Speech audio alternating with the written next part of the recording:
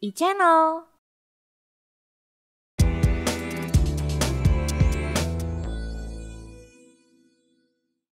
Assalamualaikum warahmatullahi wabarakatuh. Apa kabar pemirsa? Berjumpa kembali bersama saya Adi Fahmi. Kali ini dalam program Tepas Bandung bersama DPRD Provinsi Jawa Barat. Nah, sebelum dimulai, saya ingin mengingatkan terlebih dahulu kepada pemirsa untuk selalu menerapkan 3M, yaitu menggunakan masker, mencuci tangan, dan juga menjaga jarak.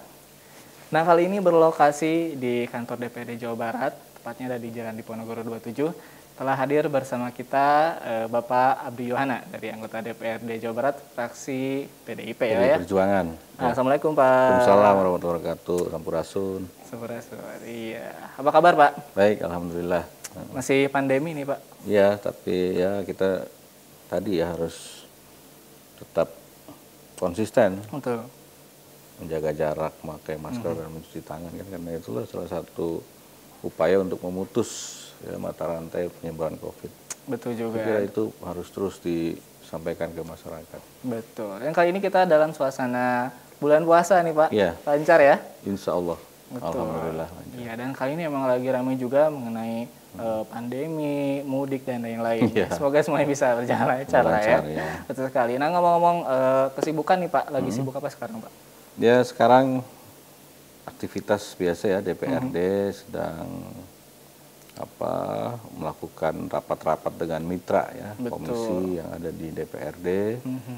dan juga sedang mempersiapkan biasa ada laporan eh, tahunan ya yang. Iya. menyangkut tentang eh, laporan keterangan pertanggungjawaban Gubernur Jawa Barat ya.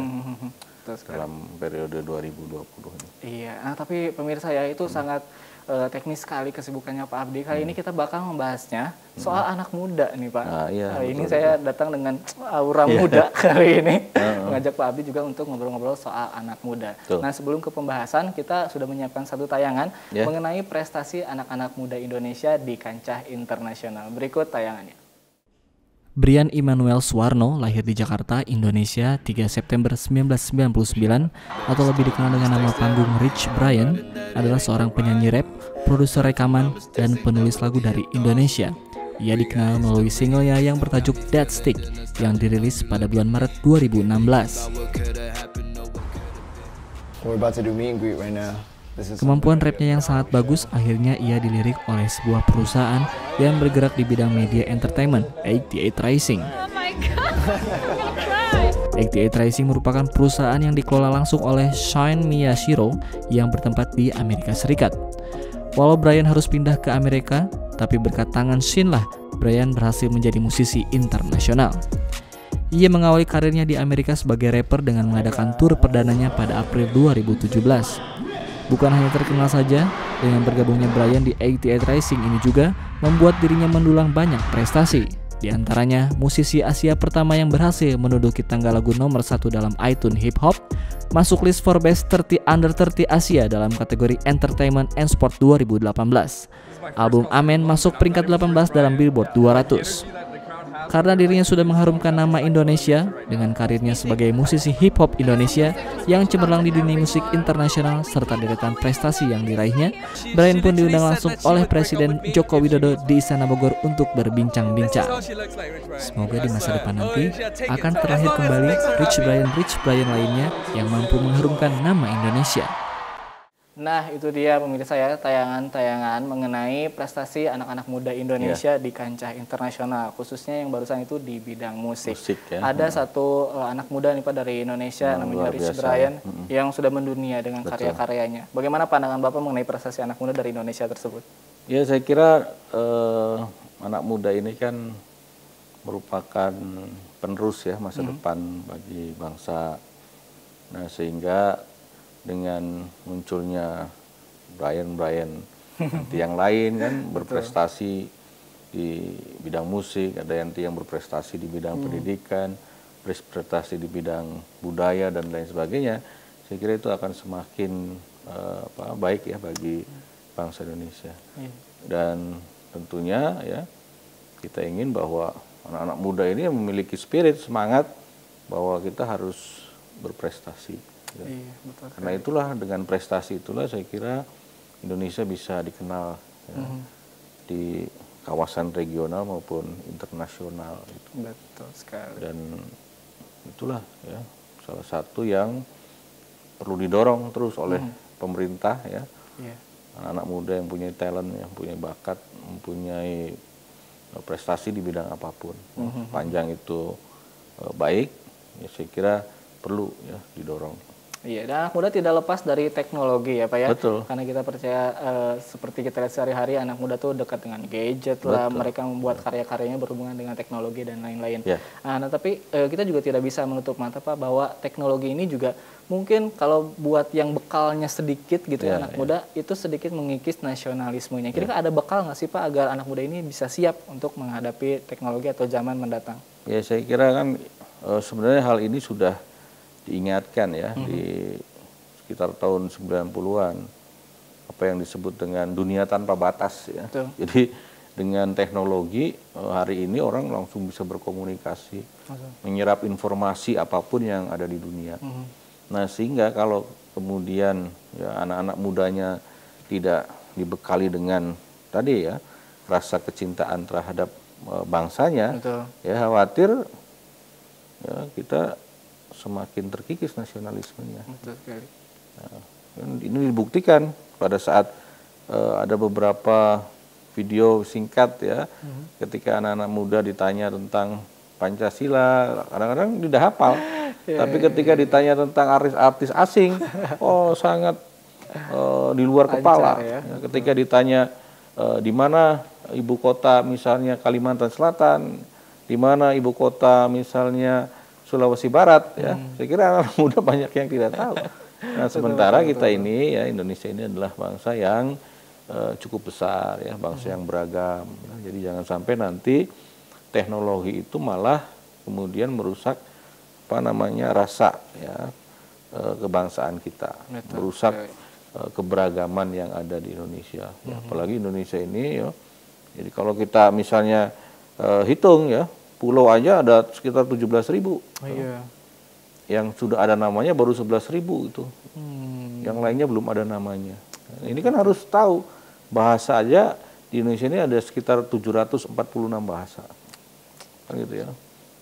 Kemudian eh, apa suku ya ada sekitar 1200 suku yang ada di Indonesia. Nah ini adalah potensi yang dimiliki oleh Indonesia. Hmm, okay, nah okay. saya kira ini harus mulai di apa namanya kembali ditanamkan kepada anak-anak muda yang tadi ya yang memainkan eh, teknologi memainkan gadget ya yang kemudian kadang informasi yang terkait dengan eh, tadi yang saya sampaikan itu hmm. eh, sangat ber, sangat kurang ya. Iya, iya, iya. apalagi kita punya Pancasila yang mampu mempersatukan Indonesia gitu. Hmm. Nah inilah yang menurut saya perlu ada konten-konten menarik ya yang bisa membuat anak-anak muda ini tertarik ya, dengan tadi ya dengan Pancasila, dengan keberagaman, dengan apa namanya uh, sumber daya alam yang dimiliki oleh Indonesia.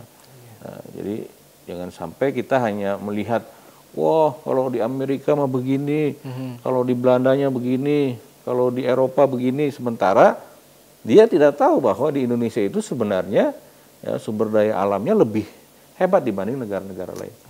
Nah itu saya kira yang menurut hemat saya perlu ditanamkan ya rasa kecintaan kita kepada uh, bangsa Indonesia. Iya. Nah itulah pemirsa saya kalau bisa saya rangkum hmm. begitulah pentingnya wawasan kebangsaan bagi generasi muda ya. dan uh, wawasan mengenai kebangsaan untuk generasi muda ini memang akan kita lebih dalami lagi di segmen berikutnya. Makanya jangan ke mana-mana tetap bersama kali usaha kami di Tepas Bandung.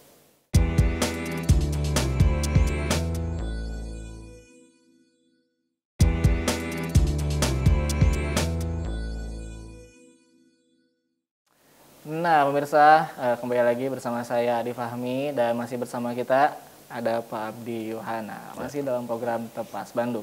Nah, kali ini kita akan uh, lebih mendalami lagi mengenai bagaimana uh, wawasan kebangsaan bagi generasi muda, muda gitu ya. Nah, kita juga akan lebih dalam lagi membahas soal itu dan seberapa penting sih sebenarnya wawasan kebangsaan ini bagi generasi muda. Tapi sebelum membahas hmm. itu, Pak, ada istilah-istilah yang uh, cukup ngetren untuk yeah. anak muda yaitu milenial yeah, atau itu. generasi yeah, Z gitu ya. Uh, apa yang pertama Bapak pikirkan ketika mendengar kata milenial? Ya, pada saat tadi ya misalnya dilemparkan terminologi milenial hmm. yang ada di dalam benak saya anak muda yang tadi ya yang memiliki kemampuan terhadap apa ilmu pengetahuan hmm. dan teknologi ya. Betul. Kemudian usianya masih muda ya, hmm. ya masih apa uh, sampai di bawah 30 tahun yeah. ya. Saya kira uh, inilah generasi yang menurut saya sangat uh, produktif ya di usia-usia seperti itu kemudian ada generasi yang lebih mudanya lagi generasi Z misalnya yeah. ya. nah saya melihat bahwa baik generasi milenial maupun generasi Z ini adalah ya generasi yang berbeda dengan misalnya generasi uh, saya misalnya ya yang pada saat itu belum menempatkan teknologi uh, di apa di apa di terdepan ya. Mhm. Sekarang kan zamannya sangat berbeda ya. Mhm. Kemudian informasi juga sekarang ini kan sangat uh, apa, bisa didapatkan di mana saja ya melalui misalnya gadget kita bisa mencari informasi apa pun. Nah saya kira uh, kemudian ya dengan melihat uh, situasi seperti itu memang ya harus dibarengi ya dengan apa istilahnya kalau zaman dulu itu nation and character building ya. Mm -hmm. ya pembangunan uh, apa, karakter bangsa ya pembangunan karakter bangsa ini ya menurut hemat saya ini semakin ke sini nampaknya semakin mengalami penurunan yeah. ya iya. mengalami degradasi ya nah kemarin misalnya ada isu menarik ya uh -huh. pada saat uh, keluarnya PP 57 tahun 2001 Tuh. yang menjadi polemik ketika Pancasila dan uh, bahasa Indonesia itu tidak ditempatkan sebagai mata pelajaran wajib ya. Uh -huh uh, alhamdulillahnya ketika ada reaksi dari publik ya dari masyarakat kemudian Kementerian Pendidikan uh, berjanji akan merevisi kenapa ya karena inilah ya Pancasila itu kan sebagai dasar ya dasar negara Indonesia gitu di mana ya semua elemen yang ada di Indonesia ini harus menempatkan Pancasila sebagai baik sebagai dasar negara maupun sebagai pandangan hidup bangsa bahkan sebagai sumber dari segala sumber hukum. Ya. Jadi sangat luar biasa nih Pancasila dan dia mampu gitu. Pancasila ini mampu dan terbukti mempersatukan ya segala perbedaan yang ada di Indonesia. Nah selain itu ya, nation and character building itu bahwa anak muda harus mempunyai jati diri ya jati diri bangsa Indonesia sendiri. Jangan misalnya sekarang lagi apa uh, tren drakor misalnya drama Korea ya kan hari ini lalu kemudian yeah. kita lebih bangga kepada Korea ya. padahal kalau kita lihat di Indonesia ini kan kurang gimana menariknya hmm. ya tarian-tarian yang ada di Indonesia musik ya makanya saya setiap pagi kadang ya mendengarkan musik hmm. musik daerah dari Sabang sampai Merauke oh. nah, baik apa lagu-lagu dari Ambon ya, dari Maluku, lagu Batak, lagu Sunda, lagu Jawa. Karena di situlah kita semakin uh, memahami dan menyadari bahwa Indonesia ini luar biasa hmm. gitu ya. Ya bayangkan kalau negara-negara lain itu kan misalnya dilihat dari luas wilayah saja ya, hmm. ya jauh lah ya dengan Indonesia. Betul. Malaysia saja misalnya sekarang ini kan penduduknya sekitar 30 juta 30 sampai 35 juta. Ya, kalau Indonesia Jawa Barat saya sudah hampir 50 juta gitu ya. Kemudian sumber daya alam kita yang dimiliki gitu ya. Tetap memiliki apa laut ya, 75 persen wilayah Indonesia ini kan laut ya. Mhm. Lalu kemudian sumber daya alam lainnya juga kita punya. Nah, saya kira anak-anak muda ini harus diberikan kesadaran itu sehingga ya kita harapannya ke depan ya sumber daya alam yang dimiliki Indonesia ini ya dikelola sama anak-anak muda. Mm-hmm. Ya jujur saja hari ini kan kita ini banyak sumber daya alam kita yang belum secara maksimal dikelola oleh uh, apa namanya katakanlah oleh bangsa Indonesia. Mm-hmm. Ya, kita masih menggunakan expertnya itu tenaga tenaga ahlinya itu dari asing. Nah saya kira dengan uh, tadi ya kesadaran kita tentang uh, wawasan kebangsaan, yang kedua sumber daya manusia yang semakin kuat, yang semakin hmm. bagus, Ya nanti pada akhirnya kita harapannya bahwa Indonesia ini menjadi uh, bangsa yang besar karena Betul. apa? Karena tadi mampu mengelola ya sumber daya alam yang dimiliki oleh Indonesia gitu. Betul sekali. Nah, e, bisa saya buka juga bahwa e, pentingnya wawasan kebangsaan bagi generasi muda ini adalah menjadi jati diri dan juga lebih hmm. mencintai ya, bangsanya ya, seperti itu ya. Nah, Pak, jika pada akhirnya nih si anak-anak muda ini memang hmm. sudah kuat nasionalisme ya. nasionalismenya gitu ya dan juga wawasan kebangsaannya sudah kuat, hmm. kira-kira efeknya bakal seperti apa, Pak? Ya, efeknya Indonesia akan menjadi bangsa yang terdepan. Hmm. Bangsa yang maju ya. Tidak menjadi bangsa yang ya, kalau kata zaman dulu menjadi bangsa tempe gitu ya. Yeah. Kan bangsa tempe itu kan tempe itu bahan bakunya kedelai ya. Betul. Nah, pada saat proses pembentukan tempe itu kan diinjak-injak gitu. Hmm. Kenapa dikatakan bangsa tempe itu karena begitu diinjak-injak proses pembentukannya. Nah, sekarang kalau tadi ya hmm. sumber daya manusianya sudah kuat, kemudian wawasan kebangsaannya juga kuat, saya kira eh, saya yakin ya Indonesia akan menjadi bangsa yang besar, hmm. bangsa yang maju ya dan mampu bersaing dengan negara-negara maju lainnya seperti itu. Iya. Nah pemirsa uh, ngomong-ngomong soal anak muda, anak muda itu biasanya kepo pak. Yeah. Kepo tuh penasaran gitu ya. Hmm, pengen tahu nah, ya. Saya sudah menghimpun beberapa yeah. pertanyaan dari anak-anak muda yang hmm. sudah kepo nih mengenai hmm. wawasan kebangsaan dan juga wawancara kami bersama hmm. Pak Adi. Tapi nanti kita akan tanyakan di segmen berikutnya. Makanya jangan ke mana-mana, tetap di sini bersama saya di Tepas Bandung.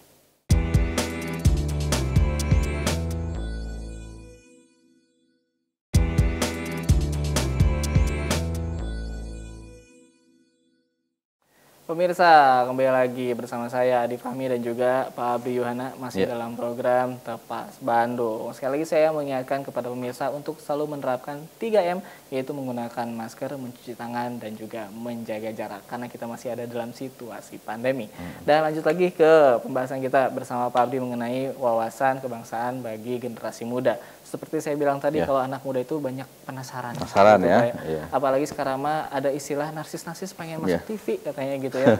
Makanya kami mengundang hmm. beberapa anak muda yang uh, rajin menonton acara tepas di channel gitu ya. Dan ini sudah ada pertanyaan dari teman kita yang sudah kami siapkan tayangannya. Ini dia tayangan, silakan. Halo, perkenalkan saya Alika. Saya ingin bertanya, apa sih yang saya harus pelajari untuk menambah wawasan kebangsaan? Terima kasih.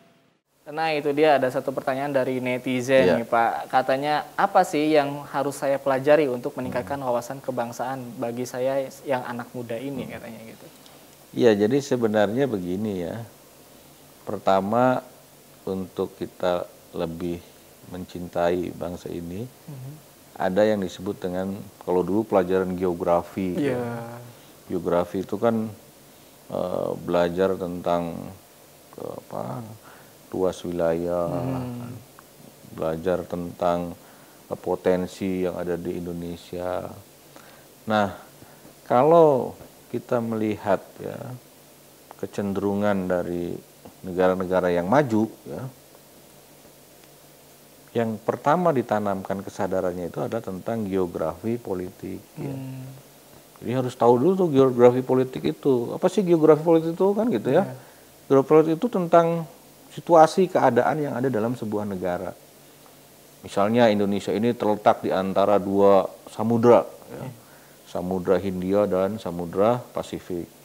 Terletak di antara dua benua, benua Asia dan benua Australia. Ya. Indonesia ini memiliki 129 gunung Merapi. Nah, apa sih dampak dari 129 gunung Merapi itu? Maka daerah-daerah yang ada di sekitarnya ya itu akan subur hmm. seperti di Bandung ya di Bandung itu ada gunung Tangkuban Perahu itu gunung aktif ya maka itu akan subur di mana di situ ada gunung Merapi gunung Galunggung misalnya maka daerahnya akan subur hmm. nah maka kalau masyarakatnya paham bahwa di situ akan ada tanah yang subur maka dia bisa memanfaatkan nah, kemudian Indonesia ini memiliki wilayahnya 75% laut ya. lalu Indonesia ini memiliki uh, apa uh, tujuan destinasi wisata ya. Indonesia ini tempat yang selama 100 eh, selama 12 bulan penuh disinari oleh matahari. Yeah. apa sih dampak dari disinari oleh matahari itu? Pasti nanam apa aja bisa, kan gitu ya. Beda dengan negara-negara yang di Eropa ada empat musim ya. Kadang kalau ada musim dingin atau musim salju itu nggak ada matahari. Nah inilah yang menurut saya ya anak-anak muda harus paham itu sehingga pada saat dia paham memiliki kesadaran tentang geografinya, keadaan Indonesianya, maka dia muncul kesadaran, wah kalau begitu Indonesia ini adalah bangsa yang hebat Betul. dibandingkan bangsa-bangsa yang lainnya. Betul sekali. Nah, jadi kesadaran terhadap uh, geografi, ya geografi politik itu sangat penting bagi hmm. anak-anak hmm. muda. Betul ya, kayaknya anak-anak muda ini harus mulai lagi nih mempelajari soal geografi dan juga politik di Indonesia. Ya, betul. Dia lebih luas lagi wawasannya soal kebangsaan seperti itu ya. ya. Dan kita mendapatkan pertanyaan yang kedua masih dari netizen netizen yang muda-muda nih. Kira-kira pertanyaannya seperti apa? Kita tayangkan tayangannya terlebih dahulu. Silakan. Halo Pak, selamat siang. Saya Jessica. Saya salah seorang anak muda yang akhir-akhir ini menyukai budaya Korea dan mendapatkan informasi mengenai budaya tersebut di internet. Nah, saya mau bertanya Pak, apakah tindakan saya ini salah? Terima kasih Pak. Waduh, pertanyaannya ya. Jadi katanya ini ada yang suka sama budaya ya, Korea. Kenapa sekarang lagi tren ya, iya. wah Korea rap itu. Iya memang drakor drakor juga. Drakor itu di rumah itu. Kadang. Pertanyaannya tadi apakah perbuatan saya ini salah katanya ya. gitu pak? Gimana tuh ya, Pak? saya kira tidak salah ya hmm. untuk tahu juga perlu juga kita tahu Betul. ya tentang budaya yang ada di eh, luar negeri. Hmm. Ya. Tetapi ya catatannya jangan sampai ya kemudian drama-drama Korea, lalu kemudian budaya asing itu menjadi gaya hidup hmm. kan itu ya. Kenapa? Karena kita Indonesia ini punya budaya sendiri gitu ya. Seperti di Jawa Barat misalnya kan budaya eh, apa Sunda kan, budaya Sunda ini kan yeah. luar biasa. Kalau kita datang ke Subang misalnya kan ada kuda renggong ya. Iya. Kemudian Sisingaan. Kalau eh, datang ke Sumedang ada reak ya. Iya. Dan itu juga saya kira tidak kalah menariknya sekali lagi dengan budaya-budaya yang ada yang hari ini lagi tren misalnya budaya Korea ya. Betul. ya. Nah, jadi jangan sampai ya kita melupakan tentang uh, budaya dan jati diri yang hmm. dimiliki oleh uh, kita sendiri ya. ya. Sebagai perbandingan dan apa namanya uh, supaya kita tahu juga ya budaya asing ya kita perlu juga tahu gitu ya. Hmm. Tetapi jangan berlebihan ya. Iya. Kenapa? Karena kita punya uh, budaya sendiri yang juga bisa dibanggakan. Ya. Seperti sekali. bayangkan ya tari reok ya tari reok hmm. itu di luar negeri itu juga terkenal. Kemudian tari e, Bali ya, yeah. angklung ya, angklung Mang Ujo ini, saung Mang Ujo ini sudah mendunia tuh. Betul. Ya, jadi jangan sampai kita lupa punya budaya yang juga dikenal di dunia, ya, tetapi misalnya kita lebih apa e, katakanlah e, membanggakan budaya asing. Nah hmm. itu yang tidak boleh. Kalau saya kira kalau tahu dan senang ya boleh saja tetapi yeah. tidak berlebihan saya kira yeah. itu. Itulah intinya teman-teman ya, jangan terlalu berlebihan. Hmm. Tetap mencintai budaya kita sendiri, budaya Indonesia. Hmm. Dan ini untuk closing nih Pak. Yeah. Kita terakhiran e, minta pesan dong Pak buat ya. anak-anak yeah. muda dan juga harapannya mengenai wawasan kebangsaan yeah. ini. Silakan Pak. Ya, saya kira ya kepada seluruh anak muda yang ada di e, Bandung, yang ada hmm. di Jawa Barat ya. Ingat ya kita punya Pancasila ya. Pancasila itu adalah dasar negara. Dia mampu menyatukan segala macam perbedaan yang ada di Indonesia. Ya, jadi tetaplah ya harus setia kepada uh, Pancasila ya. Kemudian jangan dilupakan ya. Jangan sampai kita lupa ya terhadap Pancasila. Karena Pancasila itulah yang merupakan legacy ya warisan hmm. dari para uh, para pendahulu kita ya pemimpin bangsa supaya apa? Supaya Indonesia ini bersatu. Itu yang pertama. Yang kedua ya kita ini adalah bangsa yang besar ya anak-anak muda ya memiliki sumber daya alam yang sangat luar biasa. Jadi sumber daya alam ini harus kita kelola sendiri supaya bangsa ini maju. Nah kalau generasi mudanya sumber daya manusianya bagus kuat ya maka Indonesia menjadi sebuah bangsa besar, menjadi bangsa yang maju itu adalah sebuah keniscayaan. Dan yang terakhir yang ingin saya sampaikan kepada anak-anak muda ya, tetaplah bangga dengan jati diri yang kita miliki sebagai bangsa Indonesia. Saya kira itu yang bisa saya sampaikan Iya. pesan-pesannya.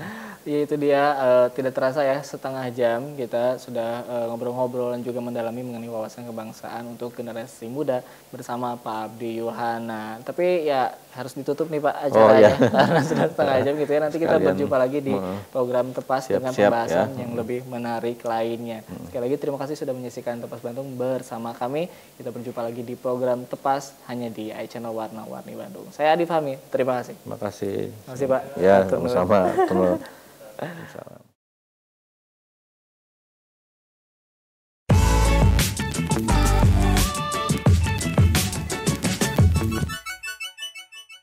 e-channel.